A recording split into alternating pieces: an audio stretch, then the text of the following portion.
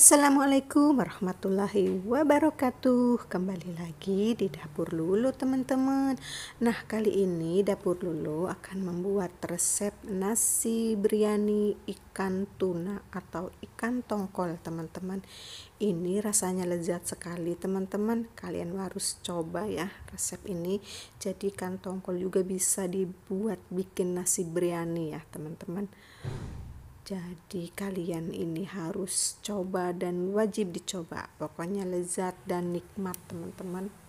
Nah, jika kalian penasaran gimana cara membuatnya dapur lulu, simak terus sampai habis dan yang baru bergabung di video dapur lulu jangan lupa subscribe dan like-nya teman-teman dan komen juga loncengnya di towel agar selalu um, mendapatkan notif dari uh, videonya dapur lulu ya teman-teman. Dan dapur lulu sekarang mau bikin aja ya langsung. Nggak pakai lama-lama lagi. Ya loh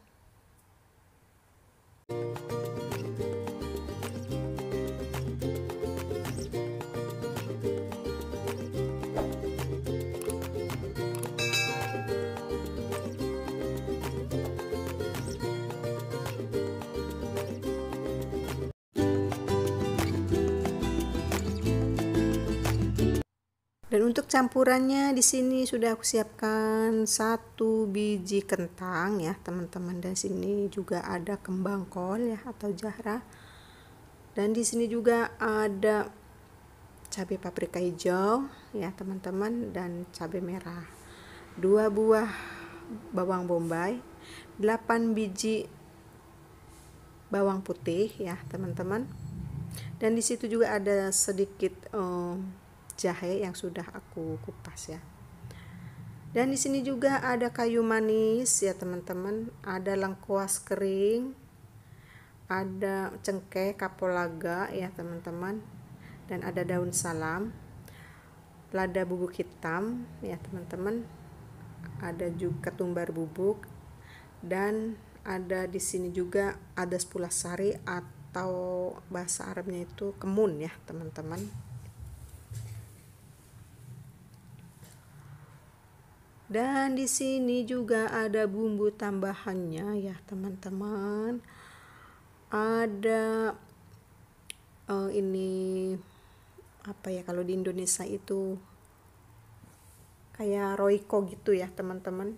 Tapi ini aku nggak pakai rasa ayam karena nggak ada rasa oh ikan. Dan di sini bumbu biryaninya ya. Nanti akan aku gunakan seitu se secukupnya ada kunyit micin garam ya teman-teman dan uh, ini tepung jagung ya teman-teman. Seperti kalian lihat di sini. Dan di sini ada ikan tongkolnya ya teman-teman. Kalau kalian tahu live-nya aku kemarin cuci uh, ikan ya yang aku simpan di pleasure nah ini sekarang aku mau bikin nasi biryani ikan tongkol atau ikan tuna ya teman-teman ini sangat lezat dan nikmat teman-teman ya. Kalian harus coba teman-teman.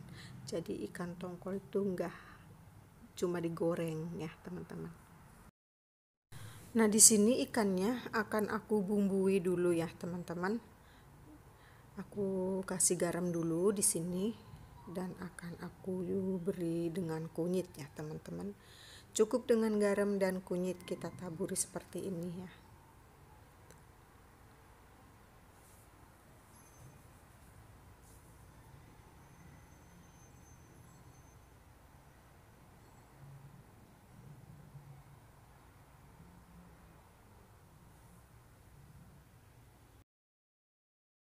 Nah, di sini juga oh, sudah aku potong-potong ini kembang kolnya ya yang tadi besar sekali.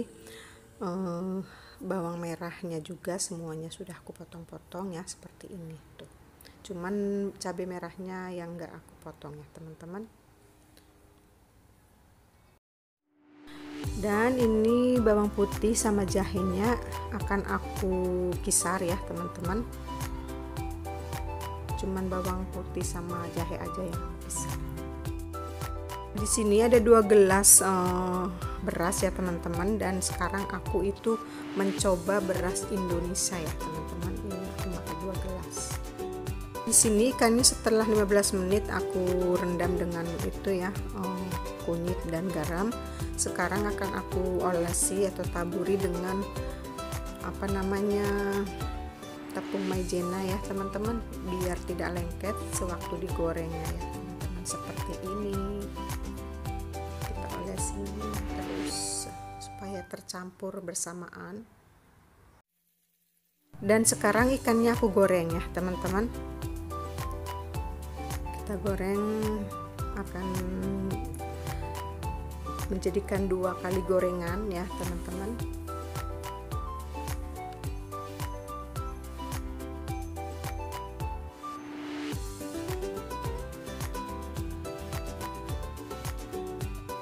lalu kita goreng juga kentangnya ya teman-teman.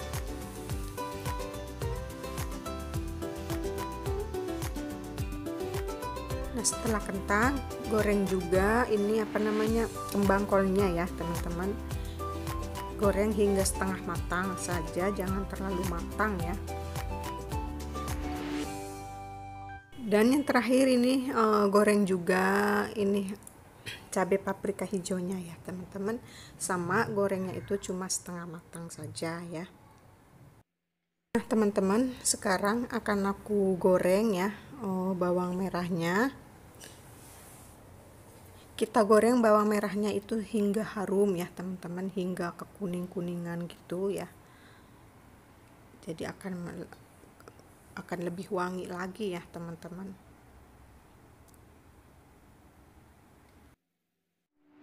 Nah sekarang sudah uh, wangi ya, sudah agak uh, udah agak kering juga bawangnya.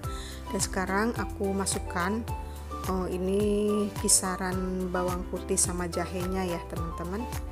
Lalu kita aduk seperti ini dan hingga berbau harum juga ya teman-teman. Nah setelah berbau harum semuanya akan aku masukkan ya teman-teman eh, bumbu yang tadi itu yang bumbu keringnya ya seperti tomat eh, tomat lagi-lagi tomat teman-teman. Seletot terus kalau ngomong itu. Kita aburkan semuanya ya.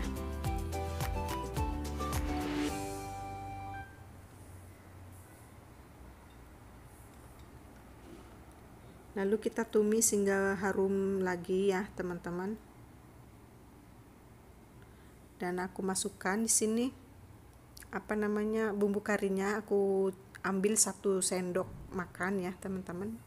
Bumbu kari bumbu biryani maksudnya. Nah teman-teman di sini aku sudah um, udah aku kasih air ya. Dan udah aku kasih itu tadi bumbu yang paketan itu kalau di Indonesia mah Royco ya teman-teman. Dan aku tambahkan juga di sini garam akan aku tutup. Nah di sini sudah mendidih ya teman-teman. Akan aku masukkan ikannya. Seperti ini teman-teman. Kita masukkan dan uh, aku tutup lagi ya teman-teman sampai mengering ini. Nah sekarang giliran nasinya ya teman-teman. Sekarang sudah aku cuci berasnya dan akan aku tambahkan di sini daun salam kering dan kapulaga dan cengkeh. Beri sedikit minyak dan garam ya teman-teman. Lalu diaduk seperti ini. Sesuaikan itu namanya uh, takaran airnya ya teman-teman. Tergantung aku ini memakai beras apa namanya beras IR ya teman-teman. Jangan pakai beras yang pulen teman-teman videonya aku singkat aja ya. Sekarang sudah matang ini ikannya jadi seperti ini. Dan nasinya juga aku masaknya di rice cooker ya teman-teman. Ini udah matang nasinya dan sekarang akan aku masukkan itu bahan dari ikannya ya. Akan aku masukkan ke sini teman-teman Nah sekarang aku tata ya teman-teman. Ini aku masukkan bunga kol dan apa namanya itu yang tadi aku goreng semuanya ya. Ini terlalu kecil apa jadi kebanyakan ya. Oh terlalu kecil magicomnya ini ya teman-teman. Sampai full. Ini pokoknya mantap sekali baunya itu sedap-sedap sekali teman-teman. Pokoknya mantap surantep ini wajib coba ya.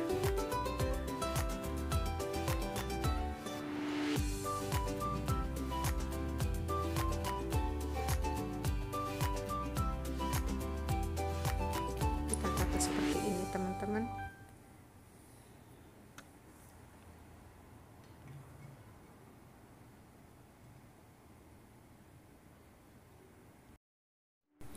Nah sekarang aku tutup pakai ini ya, pakai gasdir atau pakai aluminium ya teman-teman. Lalu tutup dan nyalakan lagi itunya, tekan lagi ya tombol rice cookernya itu ya teman-teman. Nah teman-teman sekarang sudah matang ya ini. Ini nasinya masih agak pulen ya teman-teman. Ini aku pertama kali uh, apa namanya membuat biryani ya pakai beras uh, Indonesia beras IR ya teman-teman. Tapi ini bagus banget nggak terlalu nggak kalembekan bagus sekali teman-teman ya. Tapi pulen ini enak banget ya. Kalian itu wajib coba ya. Dan ini juga ada jaranya ya atau kembang kol ya teman-teman. Dan ini baunya itu sangat-sangatlah wangi teman-teman ya dan jangan lupa kalau memasak ikan itu harus banyak uh, bumbu itu ya bumbu apa namanya itu? Kunyit yang satu kunyit kedua jahe dan ketiganya itu ada sari ya kalau di Indonesianya itu yang kecil-kecil gitu ya hitam. Nah kalau di sininya itu kemun teman-teman. Itu jadi nggak terlalu nggak bau amis ya di ikannya itu. Nah seperti ini teman-teman ya. Kalian wah, wajib coba ini menu dari dapur lulu ya teman-teman. Dan ini ikannya oh, dapur lulu taruh di atasnya ya. Ikannya itu sangat-sangat lembut dan pokoknya bumbunya itu sangat meresap sekali teman-teman. Enak banget ini. Nah terima kasih buat kalian yang sudah mensupport dapur lulu ya. Dapur lulu selalu ucapkan terima kasih buat kalian. Semoga kalian sukses selalu di sana ya teman-teman. Terima kasih semoga bermanfaat buat kalian. Video-video dapur lulu yang gak seberapa ini ya teman-teman. Selamat mencoba dari resep-resep dapur lulu ya. Dan yang baru bergabung silahkan tekan tombol subscribe subscribe-nya atau subrek-nya ya buat dapur dulu. Agar selalu datang notifikasi video-video yang terbaru dari dapur lulu teman-teman ya. Sekarang dapur lulu mengucapkan terima kasih. Bye bye